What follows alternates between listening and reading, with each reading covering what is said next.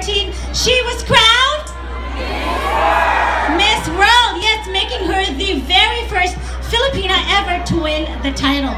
In 2015, she returned to her home network GMA 7. Pati. Alright, where she hosted the sixth cycle of Starstruck and played the title role in the remake of the classic Mexican novela Marimar. Alright, presently she's leading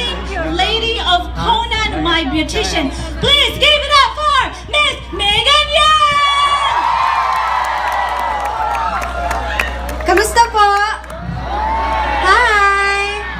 Isang malaking hi naman dyan. Hello! Love it. Kamusta kayo? I'm so happy to be here in Vancouver. Everybody's enjoying a nice hot day, right? Okay. Oh, kakanta pala